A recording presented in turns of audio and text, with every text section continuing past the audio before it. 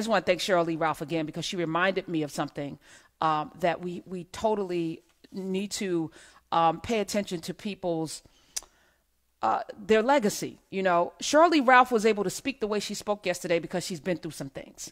She's done some things, and what you heard yesterday was wisdom. Wisdom rooted in knowledge, wisdom rooted in experience. And I feel like we have a nation that doesn't respect wisdom and they don't respect knowledge. Uh, we have yesterday also we had Samara Lynn on who was talking about journalism, and she reminded me again that just because you have a degree in journalism doesn't make you a journalist. Just because you've read some books doesn't make you a doesn't mean that you have the the tertiary knowledge to sit in that seat. And we have microwave journalists microwave talent, microwave presidents, people who step into positions that they're ill equipped for, but that's our fault because we placed them there. We put people on pedestals who do not deserve to be there.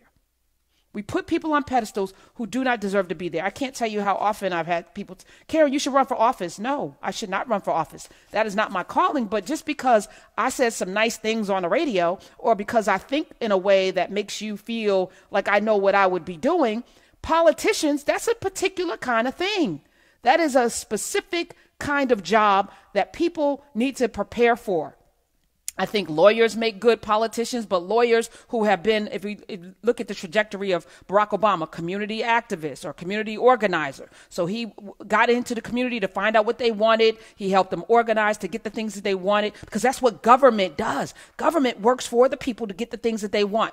But many of us are armchair uh, politicians who think, oh, because I have some good ideas or people like me, it's a popularity contest. No, it is a I know how to get things done for people job being in Congress, being uh, state legislators, the president. You have to know what to do to be in that position. And we, the people who elect people, we can't just elect people because we like them.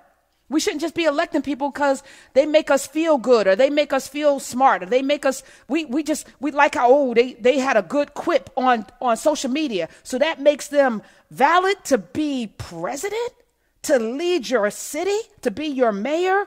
No. And I'm thinking about it as it relates to this platform. You know, I, have heard several people say to me uh, in relationship to the murder of Mr. Arbery, when I said that the, the people who killed him, they allegedly did it. Karen, we saw the video. It's not alleged. No, it's alleged because I'm on a public platform. I'm on a national platform that uh, I don't own and control from that standpoint. So I'm mindful of the things that I can and cannot do and say on these airwaves. Uh, it's like having a driver's license. That is an agreement.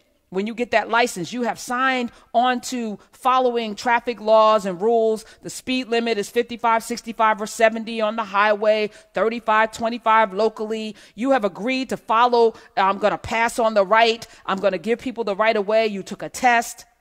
They didn't just give you a license unless they did. But that license comes with certain responsibilities, right? And you want that license right? You don't you don't want them to take that license away from you so you stay within those parameters and it doesn't make you a sellout.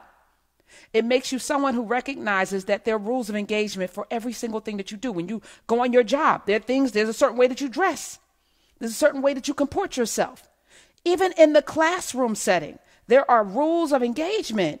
And to to to think that there shouldn't be is why we got here to think that there should not be laws and rules around behavior.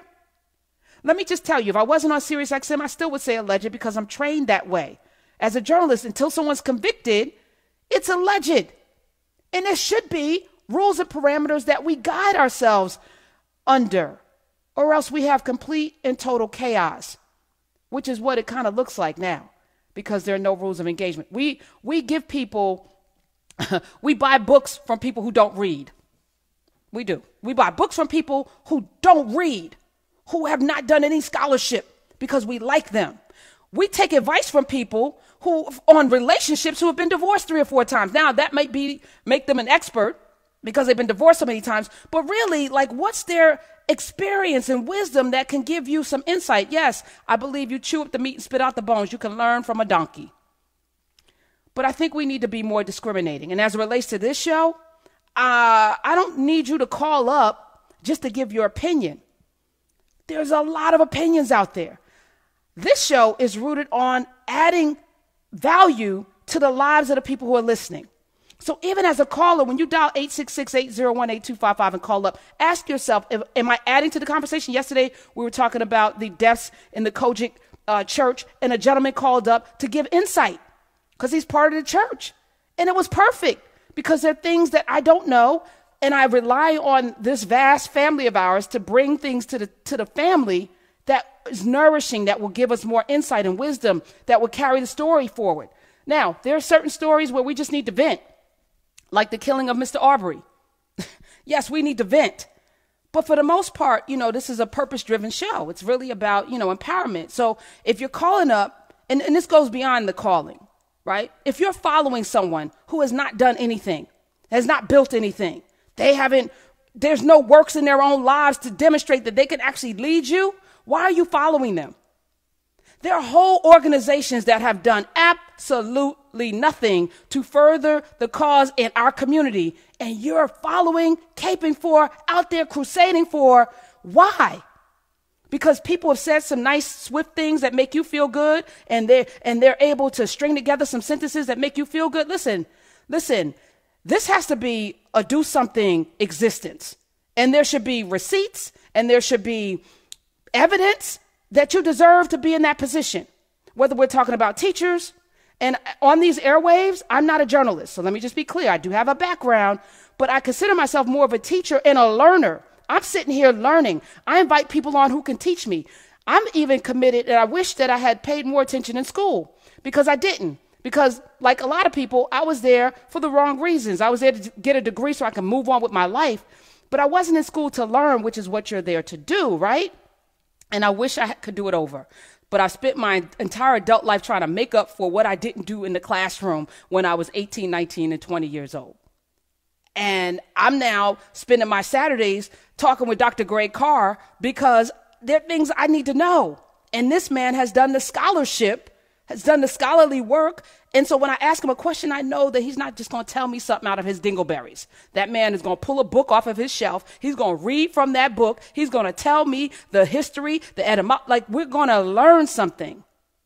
And that's what I think, you know, needs to happen. If we're going to talk about building our community and getting to a place of, of, of empowerment, uh, first of all, a lot of us are going to have to to slow down, back up, and, and do some homework. And I'm not listen, uh, I was talking with another friend of mine who's in academia, and, and kids are going to college right now, clout chasing.